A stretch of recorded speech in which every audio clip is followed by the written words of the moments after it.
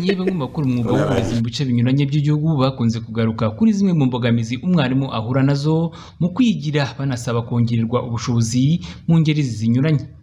Urebye ubushobozi bw'umwarimu ahanini umushahara we uza ukenewe mbese iby'ibanze by'ubuzima bwa buri munsi kubaho ugasanga kuba wagura igikoresho gihenze biba bisaba amafaranga y'imbumbe mbese ubona bitoroshye kubigeraho. Habayeho rero n'ubundi buryo bwatuguriza nk'ibindi bikoresho bihenze tukajya twishyura ku mushahara buhoro buhoro byaba byiza mbese byatworohereza ubushobozi natwe.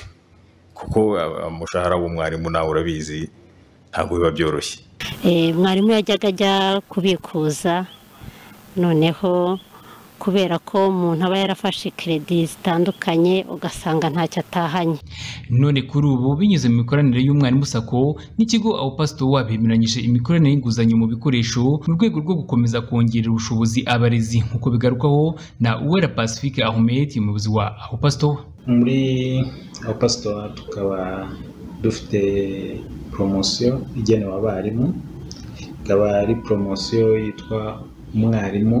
Baho simati dufatanije n'umwarimu sako. Ikaba ari gahunda igamije gufasha abarimu gutunga ibikoresho byo mu rugo ku buryo buhendutse cyangwa bubahendukiye aho bashobora kugurizwa n'umwarimu sako bakazagenda bishyura buhoro buhoro binyuze mu mu buryo bw'imishahara ya buri kwezi. Eh, uburyo tukaba dufite n'ibigo turimo gufatanya na byo twavuga nka florisa aho tuzakorana ku bijyanye n'amateleviziyo ndetse n'amafirigo n'amagazi kuka tukaba turimo kureba n'abandi bafatanyabikorwa bagiye batandukanye. Eh, kugira ngo umuntu amenye icyo yifuza cyangwa igikoresho akeneye ashobora kujya ku rubuga rwa ahupa akadomo sitowa akaba yahitamo igikoresho akeneye ashobora gukoreraho oda tukahita tumenya uwo ari we n'aho ari twamufasha kuba yabona ibyo bikoresho.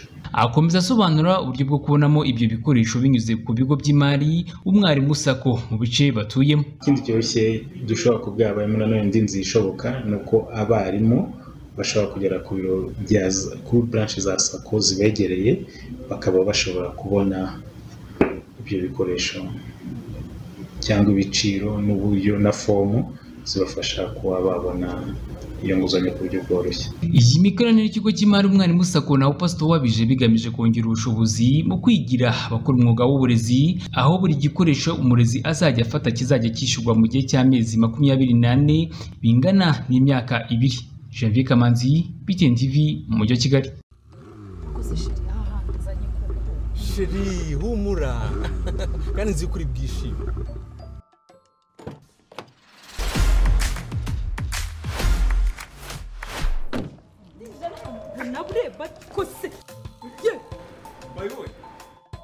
sheri florise yatudabagije urabizi ukuntu ukunda guteka noneho ni ukuduteka iminota ibiri yonyine. Dore na firigo reba uretse gato. Batuzaniye na sora noneho izi sora zifite umwihariko. Hari za litiro ijana litiro magana abiri na litiro magana atatu. Sheri. Karame. Na kasano. Kimwe. Kimwe. Uriya se yaramusa uriya mbonye bari- uriya musaza ari guhereza televiziyo ntabwo mbizi. Ariko ashaka yanjye rero n'umukobwa nkakina pubulisite n'umusaza.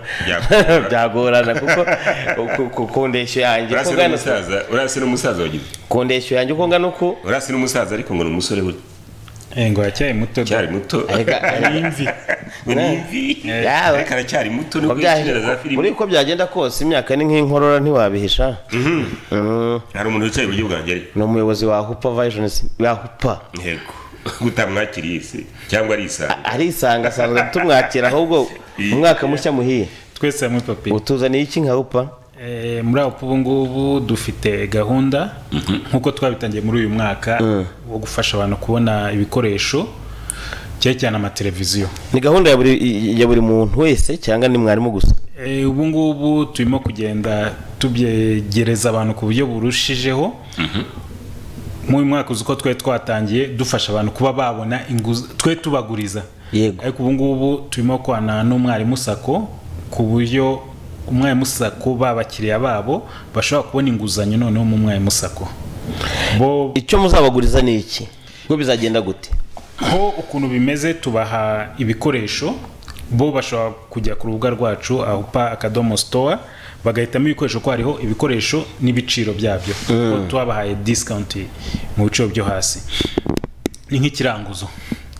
Kuko abo dukorana kugeza ubu ngubu florisa niyo twatangiye gukorana n'abandi bafite product tuzajya dukorana nabo muri iyi minsi. Ntukarangare umuyobozi utumirwa ari kuvuga. Niyo mpamvu wasanga ugiye gusaza Kandi udafite kumva neza ahubwo nawe ukavuga ngo tukaba turimo ngubu dufite amateleviziyo dufite amafirigo tukazajya mu minsi iri imbere naho tukaba tugiye kuzana n'amaradiyo na dufite n'amagazi kuka.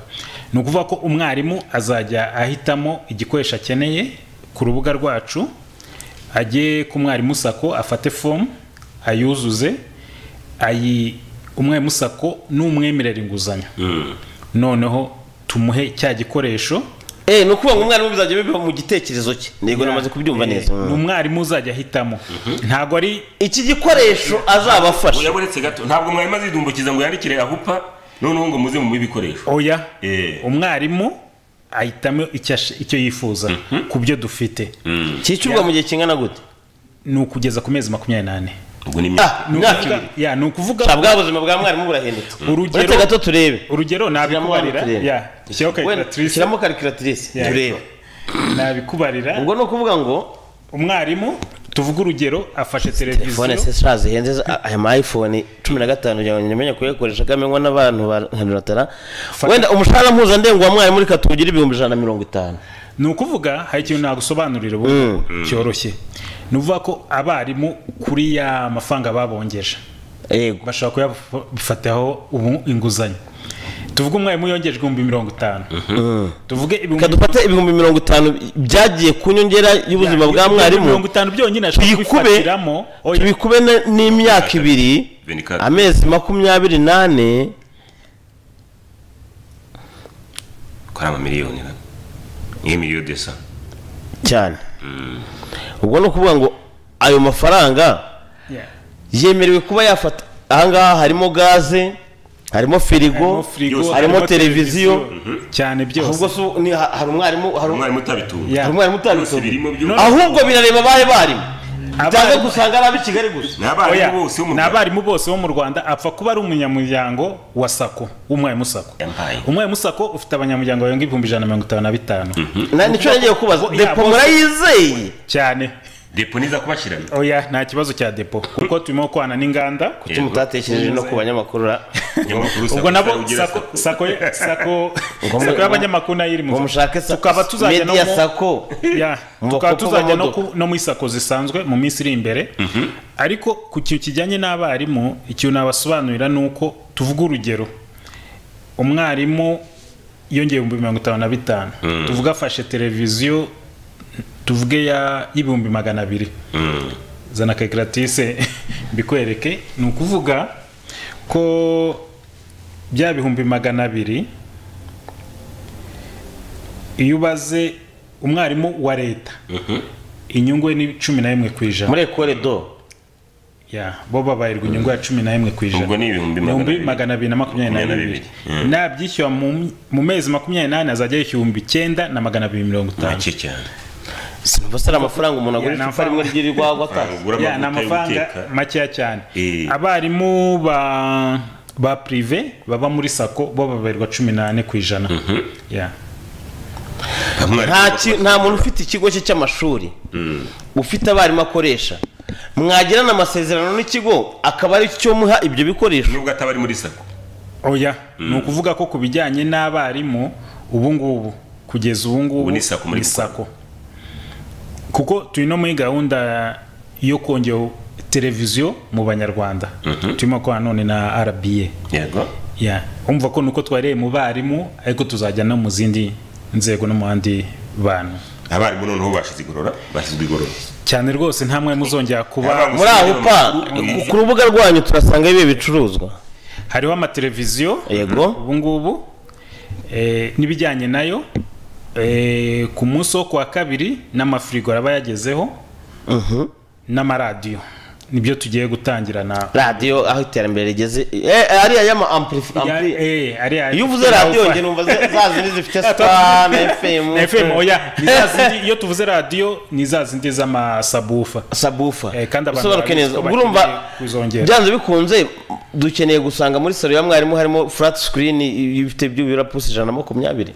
Na saro ye kandi ya smart. Ya smart. Yeah. ntabwo mufite no kuba mutanga mwabona n'ibintu biri furniture ku buryo mwabitanga? Eh furniture ubu ngubu ntago. Ntago bigize ko tuzabira mu minsi iri imbere. Erega buriya. Burereka ugeze iwawe ukicara muri salo nziza ukaba urimo kureba televiziyo hariya. Nubwo wafungura firigo bakaguhereza amazi yo kunywa yonyine y'inyange. Urabyumva?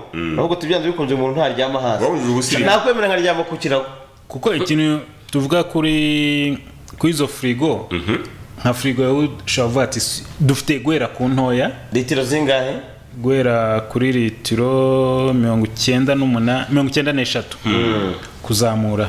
Kuko dufite na firigo zishobora gukoreshwa muri bizinesi ushobora kuba utuye mu gasantere n'iki? Ushobora gukora akabari mwarimu. Yeah. oya Oya, yana no gucuruza akabari n'amazi, wa- wa- gucuruza. wanicuruje amazi ku muhanda cyangwa ugacuruzamo amata cyane rwose ya. Kukize ntacuruza nka jonathan njye ibyo bintu bisa mbyumva cyane kuko jonathan ndabyibuka mu rugendo rw'itangazamakuru bibiri na cumi na kabiri bibiri na cumi na gatatu. Icyo gihe twahembwaga ibihumbi mirongo irindwi. Hari n'abatarahembwaga jonathan yashinze alimantasiyo ikomeye cyane ku gisozi. Eh, n'ubu baracyayiyitirira bati kwa kwa munyamakuru harahiye. Y- yararangurizaga igikapu. yajya mu nkuru bamuhaye igiti ibihumbi icumi akaranguramo amavuta ya- cyangwa biswi. Yubatse alimantasiyo tureba mu gihe cy'amezi ane hari huzuye. Ku mushahara w'ibihumbi mirongo irindwi. Noneho urumva mwarimu biroroshye cyane kuba yafata firigo ya, ya, ya kredi kubita mu kabari aga- akabari kareke. Aho kugira agashira agashyira ku ibaraza ahantu akajya acuruza inshyushyu yonyine. tunywereze akabari yashyira ushobora no gushyiramo iyo firigo agashyiramo amafanta agashyiramo Eh, byo ibyo ngibyo nibyo, aho ngaho ngaho. nuno noneho akajya n'umwana akajya amusiga aho ngaho za nyungu yari kubona bya bindi yishyura n'ubundi. Nta nimero- ya firigo yafashe. Amafaranga yishyura ya mafaranga n'ubundi aramusanga abashaka ibisobanuro nta nimero warambikaho? Eh, ushobora guhamagara kuri zeru karindwi umunani umunani zeru karindwi umunani umunani mirongo itandatu na karindwi gatandatu karindwi mirongo itandatu na kane gatandatu kane mirongo itanu n'umunani. bigiye guhera mu tuhe turere. Ku ikubitiro aho tuzabironshinga. ubu ngubu turahera mu turere tw'amajyepfo. Gisagara rwose. Uturere twose tw'amajyepfo. Gisagara pe ubwo ronshi yaho ndakeka biri gisagara rwose. Uburengerazuba ni umujyi wa kigali. Ariko gisagara hari ahantu byatangiye byatangiye. hari ahantu nabonye gisagara hari ikiraro gipfuye. Gitekerezwa kuzakorwa baza kwegera meya tu turebe kugira ngo izo firigo zitaza- zitazagwa mu- manga. Ngubu umujyi wa kigali eh, amajyepfo ni ho twatangiriye iburengerazuba nabo kuwa gatanu ndumva nabo biza kuba bari tayari. Noneho mu abarimu bazajya bava mu muri utwo turere baze gufata ibicuruzwa ku cyiciro cya ahupa i kigali. Bizakorwa gute? Bo abarimu bajya kuri sako zabo fomu zirahari. Ariko amashuri ndabaza umaze kuzuza fomu Yeah. turabimushyira tugasiga tubimwensitariye Oya turagenda turagenda tukabigeza kuri sako yaka- iyo amaze kubona oda tumaze kuyibona turagenda tukabigeza kuri sako umwarimu akaza kubihafata. Ariko dufite n'abatekinisiye bagiye kuza mu turere twose. Bategetswe bagomba gusiga bensitariye umuntu cyane. Kuko ni kuri buri murenge. Kuko muri buri murenge hazajya habamo abatekinisiye bacu. Impamvu na yo mvuze ngo mu majyepfo ni uko ubu ngubu mu majyepfo ubu tumaze gushyirayo abatekinisiye kujya mu rwego rw'umurenge. Ubu rero igisigaye iburengerazuba tumaze kubona abo mu turere turimo gushaka abo mu mirenge. Noneho tu- tubone kujya mu tundi turere. Ni ukuvuga ko impamvu turimo kujyayo ni ukuvuga ko uyu munsi niyo waba uri- mu kandi karere ushobora kujya kumwe musaka ukwegereye ibyo ukabibona. Buriya abantu bari mu Turacyafite ikibazo cy'abaturage. nibarize nibarize aho. Abantu bari mu bweyeye kuhazi hariya muzahagera hose mu gihugu hose. Hey, hageze umuriro. hapfa kuba hari umuriro gusa. Bwe hageze umuriro habaye umujyi kandi ubu ngubu umuriro ni umuriro umaze kugera ahantu henshi. Mirongo irindwi na kane ku ko ijana ko tugifite abaturage bagorwa no kubona ubwisungane mu kwivuza mituweli do sante. Mukaba mwahereye mu mwarimu sako mwakwegereye na sako zisanzwe abaturage bakazajya bafatirwa inguzanyo y'ubwisungane mu kwivuza. Aho kugira ngo bafatirwe ihene bafatirwe intama bafatirwe imibazo mu nzu. Eh, ibyo ngibyo biri muri gahunda. Niyo mpamvu na yo mvuze ngo na sako zisanzwe z'abaturage na zo tuzazigeraho. Kuko muri sako magana atatu mirongo itanu n'esheshatu kugeza ubu ngubu ijana na mirongo inani n'eshanu zimaze guhurizwa hamwe kuri netiwaki imwe. Urumva ko ni gahunda irimo gukomeza kandi bavuze ko kugeza mu kwezi kwa gatandatu bibiri na makumyabiri na kane sako zose zizaba zarangije guhuzwa.